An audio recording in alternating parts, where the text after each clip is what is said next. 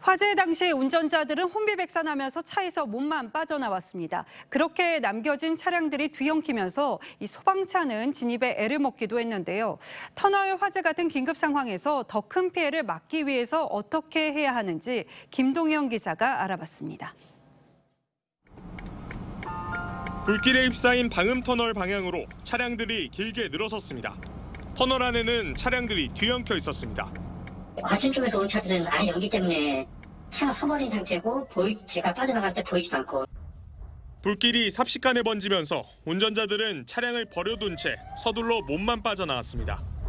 일부 차량들은 문이 잠긴 채 화재 현장에 남겨져 있어서 출동한 소방차가 진입에 애를 먹었습니다. 차들이 막 쏟아져 나오고 막 엉켜가지고 저희도 앞에 다 막혀가지고 시간이 많이 걸렸어요. 터널 안에서 발생한 화재 등 재난 상황에서는 당황한 운전자들이 차량을 그대로 둔 채 대피하기가 쉽습니다.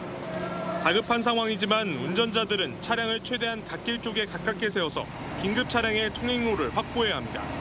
차량이 뒤엉켜 있을 경우에는 소방대원들이 차량을 이동시킬 수 있도록 자동차 키를 차 안에 둬야 합니다. 뭐 긴급 차량들이나 소방 차량들 같은 경우에 그 차를 이동하는데 문제가 생기게 되거든요. 전문가들은 대피 과정에서 질식 위험을 막기 위해 젖은 옷 등으로 호흡기를 보호하면서 몸을 피하라고 당부합니다.